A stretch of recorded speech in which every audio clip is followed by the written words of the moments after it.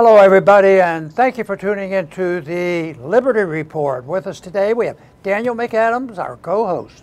Daniel, good to see you. Good morning, Dr. Paul. How are you this morning? Doing well, doing Good. well, up to our old uh, job that we have That's stop right. a war, end a war, prevent a war. Anything. We're not doing so well. I understand war's been around for a long time, but that's not an excuse. You shouldn't keep you shouldn't give up just because the history it doesn't look very good for getting rid of all the wars. But there can be times when countries have gone along together and, and managed to live together. And all I know is the less big government we have and international government and entangling alliances, the more likely is the people will figure out how to live with each other. Yes. But we, unfortunately, we have a lot of that entanglement that we have to deal with. And right now, the one we're going to talk about to start off with is uh, comes from an article on anti-war talking about more troops to the Middle East. Wow, I wonder what's going on here. Don't don't we just use a proxy over there and they do all our fighting? is this a shift? This is no longer just a proxy war, Yeah. somebody fighting our battles, but the U.S. sending more troops to the Middle East after Israel's escalation uh, in in Lebanon. But you know, one thing that I came across of more troops, I thought, well, we probably don't have that many there. But on this report, they said, uh, I, I'm not going to comment or provide specifics, he said. That's Ryder, uh, uh, uh, Pentagon spokesman. On, on this, he said, there are currently about 40,000 Wow. U.S. military personnel across the Middle East. And, uh, it, and, you know, that's probably not commenting the Navy and Air Force Yeah. that's uh, surrounding the area and involved. So thi- this is a mess, and now we're sending it. Of course, the battle's been going on. We've talked about the escalation, and uh, there was one statement. Uh, you may you may have already picked this out, but I want to make it a. One of the things is Secretary Austin expressed his support for what to justify all this stuff. Israel's right to defend itself. Yeah. Certainly, they have a right to defend itself. But that doesn't mean you have a right to do anything you want anytime and, and use uh, use pro, use our money and our troops now, uh, and and uh, attack for, for the purpose of attacking and deeper into Israel. Uh, well, you know, on and on. So what we have been talking about for months, if not years, uh, this looks like another significant step, uh, especially the discovery that the troops have been pouring in, and now we're going to send more, and uh, one thing leads to another, and looks like looks like that war is expanding. It hasn't decreased uh, as of now that we can tell. The question is, what is their mission? And that's something that hasn't been answered. It's somehow to show support for Israel as Israel attacks yet another foreign country. Um, but the question, I mean, if I were in Congress, thank goodness I'm not, I would demand some answers. What is their mission? You, Mr. President, are sending U.S. troops into a combat zone. After remember, Kama- Kamala said we don't have any troops in a combat zone. They're sending them into a combat zone. What is their mission? What are they allowed to do? Uh, you know, what, what are they what are they supposed to do? And I think Americans looking at this and looking at the war, which has escalated uh, significantly, the Israelis killed about 500, more than 500 Lebanese in one single day. So that's a big escalation in the war. Americans should be wondering what happens if this thing goes uh, even more south. What if Isra- uh, what if Iran gets involved? Um, this could expand very much, and you could be looking at things like a military draft. You know, we need to have a lot more people. So Americans are going to start dying uh, over there if we don't if we don't start paying attention. Of course, that's exactly what Israel wants. Uh, they want us to fight this war because they know that they they've picked a fight with everyone around them. Kind of a dumb thing to do, um, but they're going to need us to fight it. But I would I, I would just echo what you said, Dr. Paul. Uh, the problem is in D.C., not Tel Aviv. You know, the problem is that we're sending the money, we're sending the weapons, and what do we do? And Dave DeCamp uh, makes a good point in his piece that you referenced. He said throughout the past year, the U.S. has sent additional forces to the Middle East as a show of support for Israel. The strong support from the U.S., including a constant flow of weapon shipments, has emboldened Israel to escalate in Lebanon and elsewhere in the region. And he put it very well because it emboldens them. They have the sense that we can do whatever we want because America's got our backs. We can pick fights with whoever we want. We can bomb whoever we want because America stands behind us. And that's the opposite signal we should be sending. Well, I know you must have a tendency to, uh, ex- uh, uh, you know, uh, feel the same way as I do. It's sadness because Yeah. I always look at it and say, you know, all this killing is preventable. You know, all, all we have to do is have stayed out of there.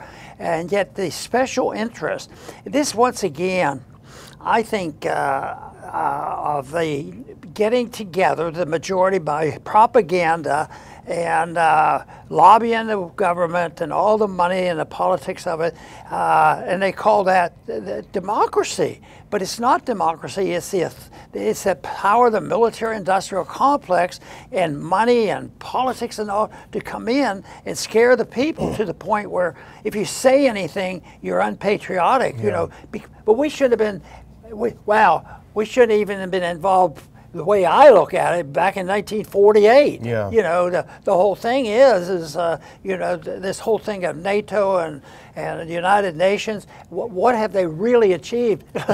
I keep thinking, you know, I remember the day the United, uh, the, uh, uh, the uh, United States had to go to war to uh, uh, in, in Korea, but what was the first thing they did? They got the UN to declare the war. Yeah. It- and hardly anything was said. So it, it embarked on that. And since then, of course, we, we don't even bother. We just go and get involved.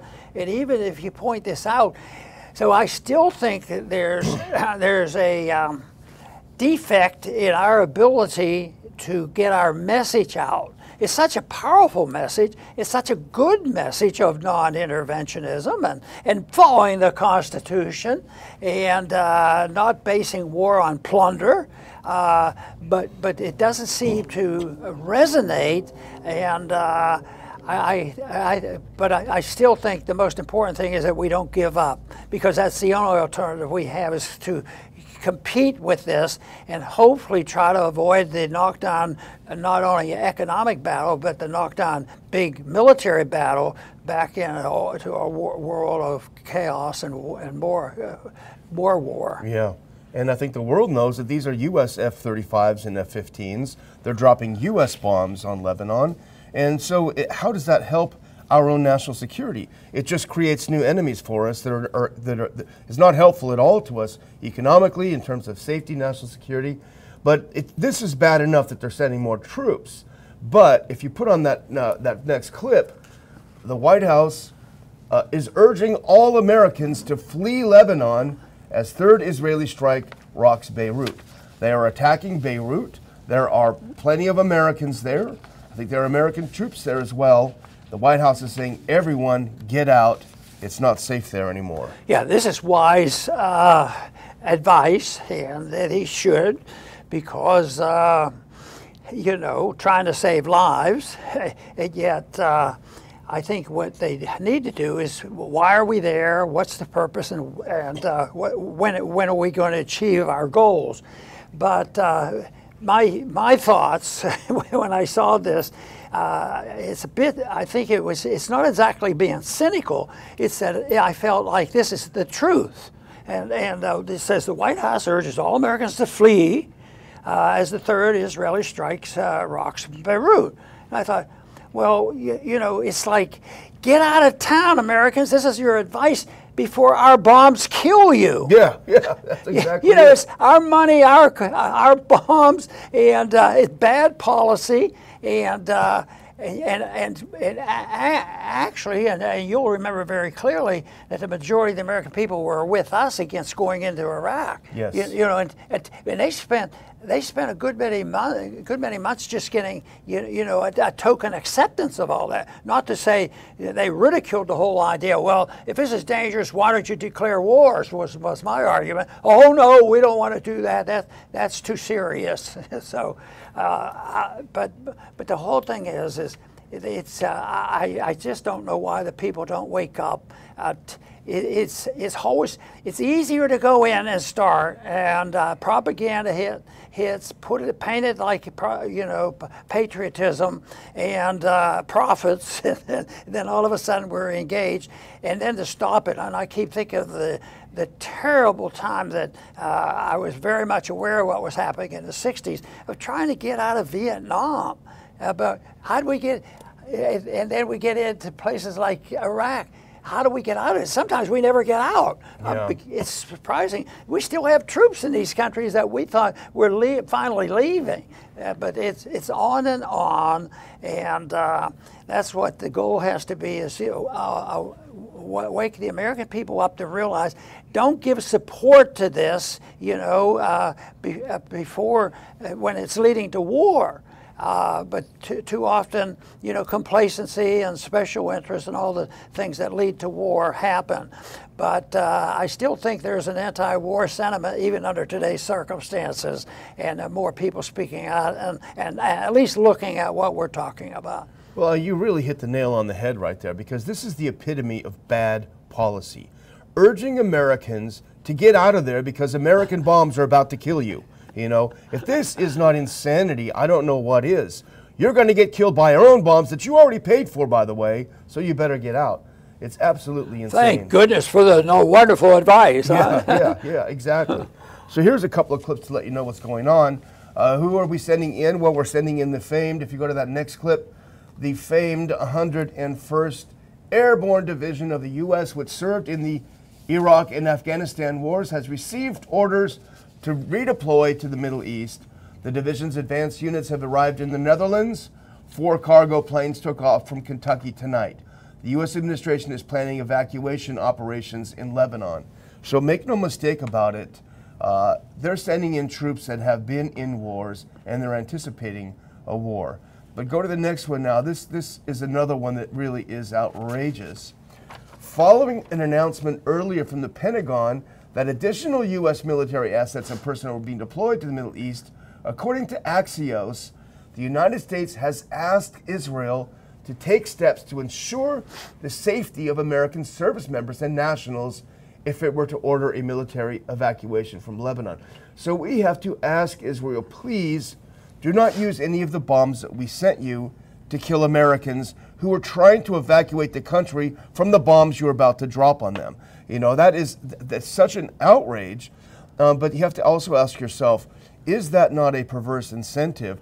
Just as Zelensky, who we'll talk about in a second, is desperate to draw NATO in its, into its war with Russia, Israel, Netanyahu's government, is desperate to draw the U.S. military into its wars against the Palestinians and the Lebanese. So, what kind of incentive would it be for uh, maybe some service members to get killed and make it look like Hezbollah did it? God forbid that would happen, but Americans would be outraged. They'd be demanding more, more military action. We could find ourselves in a serious war very quickly. You know, you made a good point earlier about uh, being uh, our, our, government being more explicit. Why are we going in, and what is the purpose, and when is it going to end? But uh, they don't generally do that.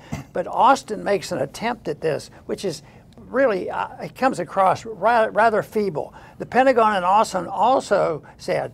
Make their quote is to make clear that the United States remains postured to protect U.S. forces. That sounds good, and personnel, and determined and determined to deter any regional actors from exploiting the situation or expanding the conflict. Is, isn't that pathetic? Yeah, yeah. You know, just words, words that mean nothing to them and just trying to pacify the masses. And yet at the same time, the people wake up and they find out that uh, this all does have an economic effect, and they, they're wondering why uh, their wages don't go up and prices go up, and they don't see any relationship of how the, the combination of this foreign policy and economic policy is devastating. And unfortunately, uh, my assessment is it's going to last for a while and it's going to be bad. It's going to get a lot worse. But the answer is not difficult. And when people say, well, what would you do? I said, we should insist that people at least read the Constitution yeah. and take their oath seriously. And that is not a perfect answer, but it's a heck of a lot better than what we're doing. Yeah. Well, the claim that Israel makes for bombing Lebanon is that they keep shooting rockets over here, so we've got to respond. We've been sitting here taking it for so long, we've got to do something. You know, we're, we're the victims here. But I found this interesting chart from the BBC hardly an anti Israeli bias at the BBC. Now, they tracked the missiles, the cross border attacks since the famed October of 2023 uh, attacks of last year. And the red is Israel attacking Lebanon, and the blue is Lebanon and Hezbollah attacking Israel.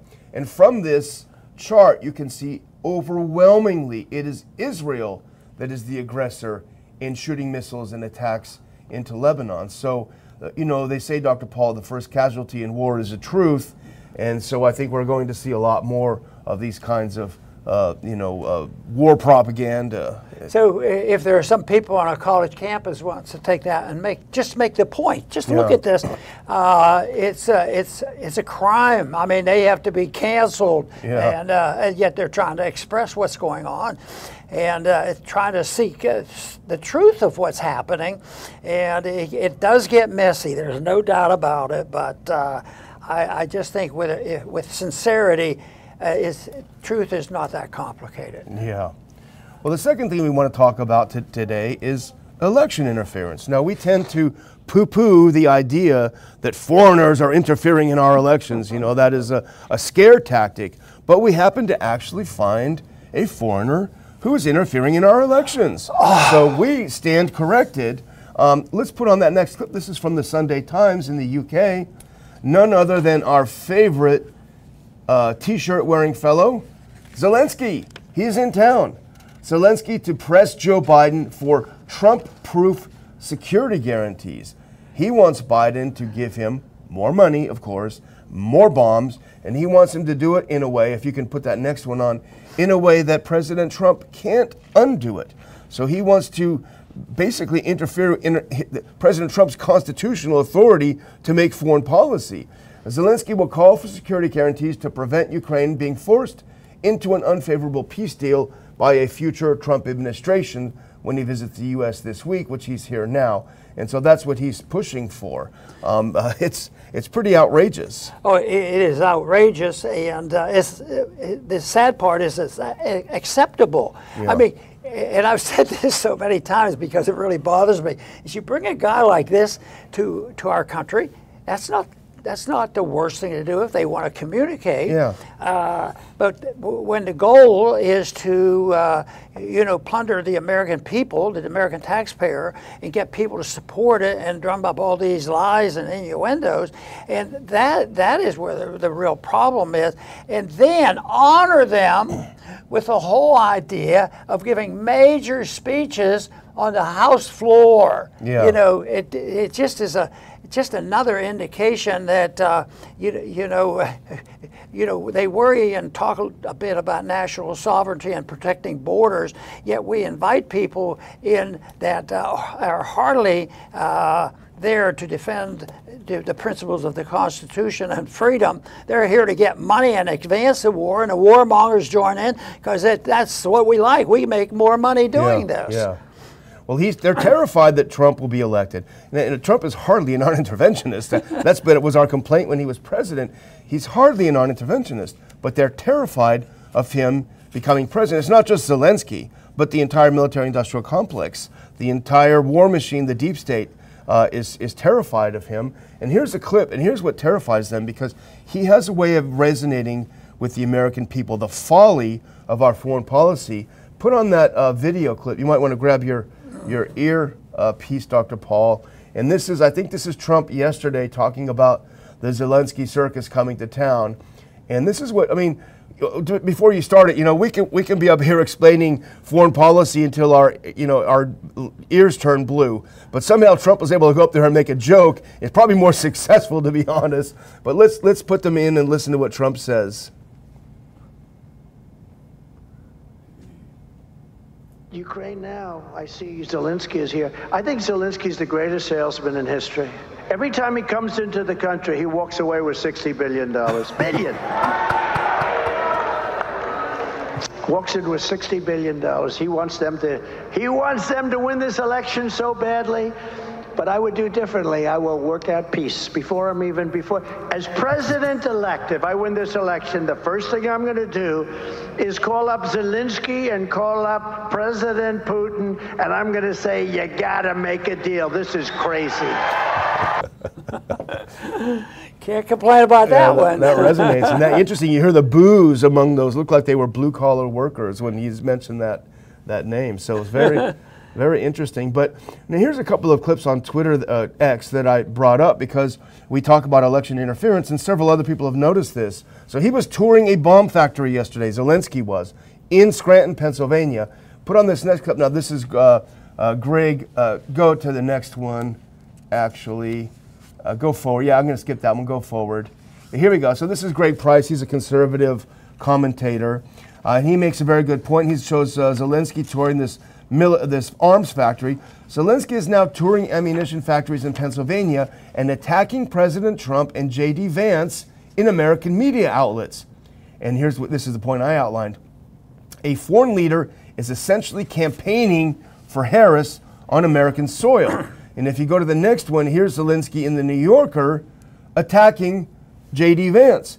Uh, the question is apart from Trump's own reluctance to talk about Ukrainian victory, he has chosen J.D. Vance as his vice president. Zelensky says he's too radical. And then the question Vance has become a, with a more precise plan to, Zelensky says, give up our territories. And he goes on and on to criticize. And Glenn Greenwald makes an excellent point if you go to the next one Dr. Paul, when you want to talk about interference. Of course, he always is able to spit out a great uh, little line here. What uh, Greenwald says Democrats spent eight years whining about foreign interference in our sacred elections. Now they're campaigning with Ukraine's president for life in key swing states. Recall that Ukrainians also worked with the DNC to help elect Hillary.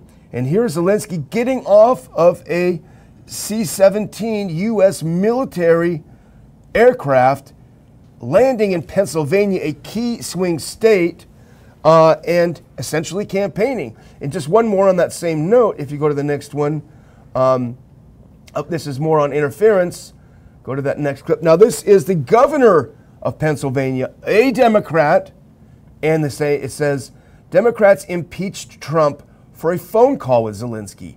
Now they are autographing ammunition alongside Zelensky on U.S. soil. To which I would add, uh, re- reiterate what Glenn said a swing state, a key swing state. Yes, you know he he. He, his declared purpose of being here is to reveal his victory plan. Yeah. he, he has this plan, and the one thing here is uh, Zelensky said he when, when he was being quizzed a little bit, Zelensky said he would not reveal full details of the plan until he met with Biden. Yeah. So, so he wasn't ready to talk about it in public, and. Uh, but the, but the, the, the statement there of why is he here is why is he you know, why does he have this much credibility why is it costing us so much why does it lead to more killing and not peace but uh, if, if the if the peace plan doesn't satisfy his plan yeah, and, and then he couches it sometimes into that, that he really wants uh, he really wants to talk to Russia. Yeah, Yeah. on his terms. Yeah. so Yeah, absolutely. Well, I guess we'll we'll close out now. Uh, I do want to thank Conrail 2020 for uh, doing a live chat with ten dollars, and he points out that Trump's plan was written by Fred Fleitz, who is a terrible neocon. So again, not perfect, but at least it's making them nervous. Um, but I'm going to close out, Dr. Paul, with an announcement of my own. If you put on that last clip, uh, I just decided yesterday I will be going to the Rage Against the War Machine rally on the 28th in Washington, D.C., at the Washington Monument. Uh, you know, Dr. Paul, you, you're a big uh, supporter of people getting out and letting it be known that they oppose war, and people that can often feel helpless. What can I do? Well, what we can do is go there, have a big presence of people there saying, no, we don't want these wars. So I hope as many people as possible will go out there uh, and uh, and show some support for the cause of peace. It's going to be a, a great rally. We were there together last time a couple years ago, so I'm really glad they're holding it again. Very good. Glad you're getting there. Let them have it. Don't be bashful. I'll try not. Okay, the uh, the, the uh, one, one thing I want to do is uh, is uh, make it very clear philosophically what we're after because we're discredited very often because if you take a position of non-intervention uh, overseas that you're an isolationist, and that's a bad word. You don't want to isolate. And I would say that uh, people have a right to isolate themselves if they want to live on their property and take care of themselves, and they don't bother their neighbors. They, they're allowed to be isolation. A country could do that too, but that's not the way got, uh, people like it. They like to intermingle. They like to talk to people. They like to, you know, educate uh, different people. So the, it's out there.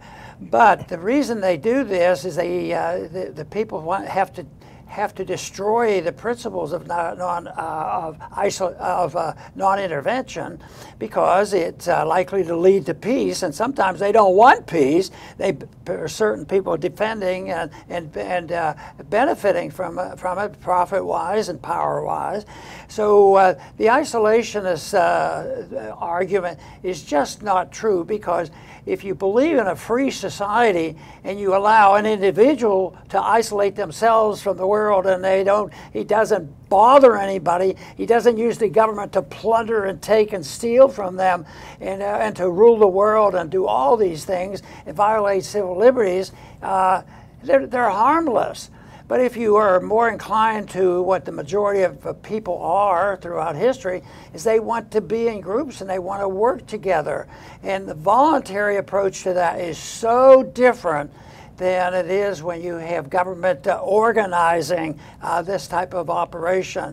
So when people come together, you know, just think one-on-one individuals. Just think of how how great that would be if nobody did anything with another person unless both sides agreed to it. Economically, socially, religiously, all of that would be so much so much better. And what about the countries? What if the countries never? This would be the real charge, challenge because uh, we who had the, one of the best and the freest countries, it wasn't long before we started throwing our weight around and not waiting for the opposition to agree with us to do certain things. And right now, we certainly don't follow that. We're interventionists, and uh, the whole idea is they're trying to destroy our ideas. You're a bunch of isolationists. You don't want to. You don't want to join all these uh, groups like the United Nations and whatnot. Well, I'll tell you what I, the uh, intervention by big government is not the answer to finding out how the best way for people to get along. If you're interested in peace and prosperity, that's where we should go. I want to thank everybody for tuning in today. To the Liberty Report, please come back soon.